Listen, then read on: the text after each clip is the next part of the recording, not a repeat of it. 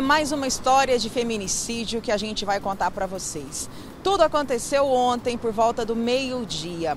O casal, né, a Arlete e o Dadinho, o homem que, com o qual ela namorava há quase dois anos, eles chegaram né, lá nessa chácara no setor Mansões Rosas de Ouro, aqui em Goiânia. Chegaram por volta do meio-dia, eles estavam com uma caixa de cerveja, é, a caixa eles colocaram em cima da mesa, o dono veio, colocou na geladeira, o casal, cada um pegou uma, uma latinha, ela sentou numa cadeira e detalhe, tinha uma, uma criança ao lado, mas a dona da casa, sentados no sofá. Ninguém estranhou nada, porque era comum aquele casal frequentar aquela casa. Já tinha um tempinho que eles estavam sumidos de lá, mas devido à amizade de longos anos, ninguém estranhou nada. Né? E foi muito rápido. O prazo dela sentar, abrir uma latinha, ele foi assim mais ou menos no, no quintal ali da casa e já engatilhou a arma e já deu um, um, tiro nela. Mas o que chamou a atenção é que nesse momento ele começa a chorar muito. Ele chora muito e mesmo assim ele dá um tiro nela. Esse tiro acerta a cadeira. Ela se esconde atrás ali da mãe, do bebezinho, acreditando que ele ia poupar a vida dela por causa dessa criança. Mas ele não poupou. Ele deu três tiros nela com arma .380 a mulher infelizmente morreu. Mas quem é essa mulher? É a Arlete, Arlete Almeida, de 33 anos, mãe de quatro filhos, uma jovem mulher muito bonita, dona de si, é, uma mulher independente que tocava ali um salãozinho na casa dela, fazia é, mão, pé, as unhas, né? Fazia sobrancelha também.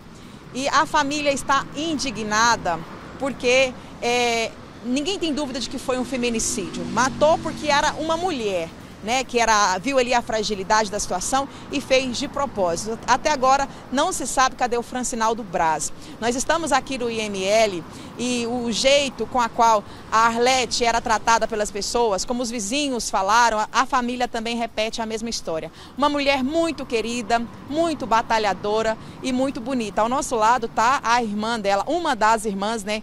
Tem várias irmãs aqui, a mãe também está ali dentro, super consternada com tudo que aconteceu. É, o nome dela é Janete, ela é bombeira civil, mora em Brasília, mas está aqui devido tudo que aconteceu. É, boa tarde para você, obrigada por nos por falar conosco neste momento. A gente entende ah, os nossos sinceros sentimentos, toda a equipe da Record mais uma mulher, né? E é isso que vocês não querem, que seja apenas um ranking, apenas um número. Vocês querem justiça. A gente quer justiça. A única coisa que a gente quer que essa morte da minha irmã não fique impune, porque senão vai ser mais uma, mais outra mulheres. A gente está cansada de todos os dias uma mulher ser vítima de feminicídio. Nada, nada do que eu falar aqui vai justificar a nossa dor, da nossa família, essa perda que era minha irmã.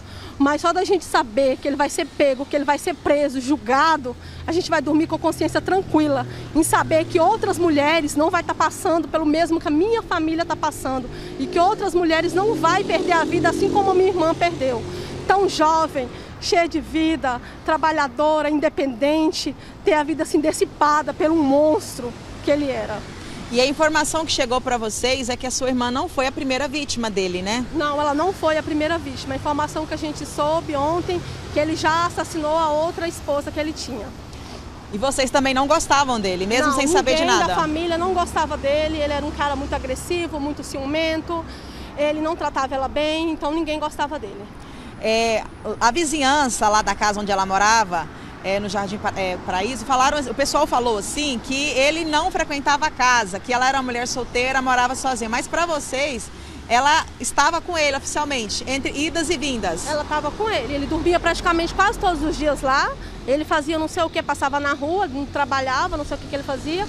À noite ele ia para lá e ficava com ela, mas eles viviam idas e vindas nesse, nesse volta e separa, devido à agressão devido à ignorância que ele era e muito ciumento. Então ela sempre largava e ele falava que ia mudar, que ia mudar e aí deu no que deu aí, não mudou nada. E vocês sabiam que esse relacionamento era turbulento? Sabia, sabia, porque da última vez que eu vim em Goiânia, acho que três meses atrás, ela me falou que não queria mais, que ele não era um cara legal. É, e aí, no caso, vocês conversavam com ela, tentava trocar uma ideia? Conversava, falava para ela, saía, ela falava que não ia voltar mais, mas quando a gente ficava sabendo, ela já estava junto com ele. A gente vê, a gente sente a dor, né? A gente, por ser mulher, por ver a família nessa situação, ninguém gostaria de ver uma família nessa situação que se encontra aqui no IML.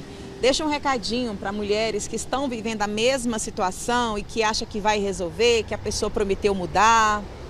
Mulheres, caia fora caiam fora. Assim que você perceber um grito, um puxão de cabelo, um ciúme, é, é, sem limite, cai fora, porque não vai mudar, não vai mudar. Eles prometem, eles são muito bonzinhos, eles são muito doces, só para a gente voltar. Depois eles fazem tudo de novo. Não voltem, não, na primeira oportunidade que você estiver, caem fora, porque pode ser tarde demais, assim como aconteceu com a minha irmã. Janete, o apresentador aqui em Goiás é o Loares Ferreira, ele está lá ao vivo conosco e ele quer te fazer uma pergunta. Só um minutinho que ele vai perguntar. Ô, Jaqueline, além da perda dessa mulher, de uma trabalhadora, uma mãe de família, eu queria que ela falasse das crianças, né? Porque essa mulher, ela deixou várias crianças órfãs. Queria que ela falasse dessas crianças pra gente.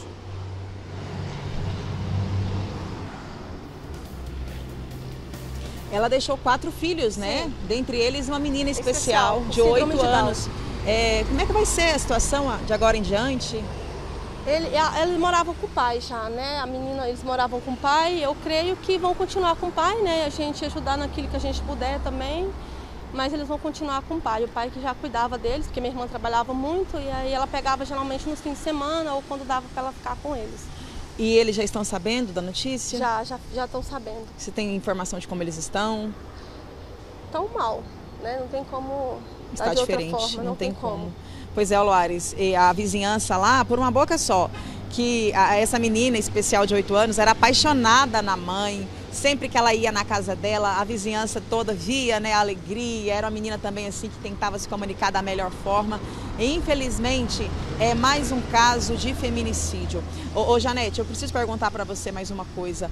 É, como é que está o coração da família? A mãe está ali dentro, não consegue nem conversar, né? Como é que, que vocês estão lidando com esse, nesse momento? A gente sabe que está no fim, né? É o coração despedaçado, não sei nem como te explicar a dor que eu estou sentindo, a dor que a minha família está sentindo. Não, não tem nada nesse mundo que se compare. Não tem nem como explicar a dor que a gente está sentindo. É uma dor muito grande. Só a gente que perde uma pessoa amada, querida, a gente sabe o que está passando. Não sei nem como explicar a dor que eu estou sentindo. Não tem palavras para falar. A gente imagina. E vocês querem ele preso? Eu quero justiça, eu quero ele preso. Ele precisa pagar, não só pela minha irmã, mas pela outra mulher e por outras que se ele ficar livre, ele vai fazer o mesmo. É, Lores, é uma situação muito complicada, né? A gente vai vai fazer uma reportagem, chega lá uma mulher tão linda, tão jovem, apenas 33 anos, mãe de quatro filhos, que por mais que não moravam com ela, ela dava assistência, estava sempre junto, né? Tem uma mãe ali dentro, arrasada, as irmãs é, estão cuidando né, no, do processo do, do, do velório, do enterro que vai acontecer na cidade de Guapó, que é uma cidade onde elas moraram uma parte da vida delas, onde tem muitos amigos e muitos familiares também sem entender até agora o que que causou, o que que motivou isso. A gente sabe que não tem motivação, né? Fazer isso contra qualquer que seja a pessoa, a vítima, homem ou mulher. Mas no caso dele, ele estava de boa com ela lá e do nada ele disparou contra ela, sangue frio, e a mulher morreu lá na casa desses amigos Oloares. Nós preparamos uma reportagem e daqui a pouco vocês vão ver tudo, como aconteceu, aonde foi isso, a opinião, né, a sensação de quem estava lá no momento.